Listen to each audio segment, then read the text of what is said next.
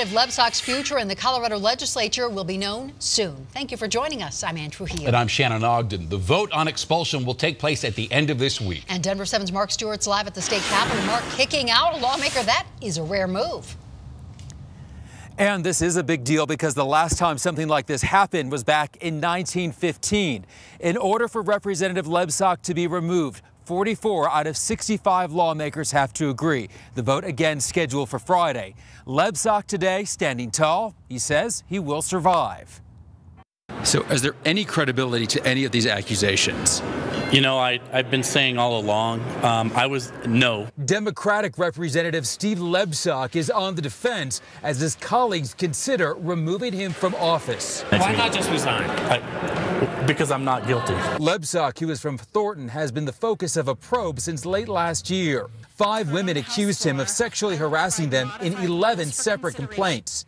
Among the accusers coming public, fellow Democratic Representative Faith Winter. She claims Lebsock made inappropriate comments to her at a 2016 party. If we don't move forward with this expulsion, we are sending a very dangerous message that when we put on this badge, that we are held above accountability and reproach.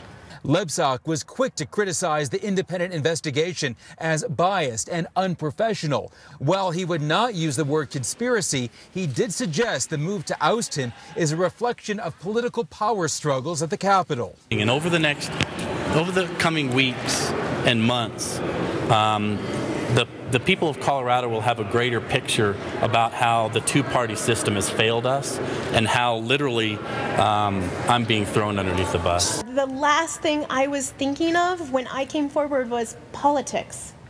My whole goal in coming forward was to make sure this behavior stopped and that women in this building felt safe and felt like their voices were heard.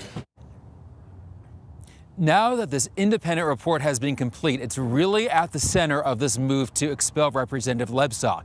It is supposed to remain secret, only available to members of the House of Representatives as well as the accusers. It's not supposed to be released. However, Representative Winter says she will consider revealing parts of it, making it public, depending on how things play out. So what is supposed to be secret may eventually be well known to all of us.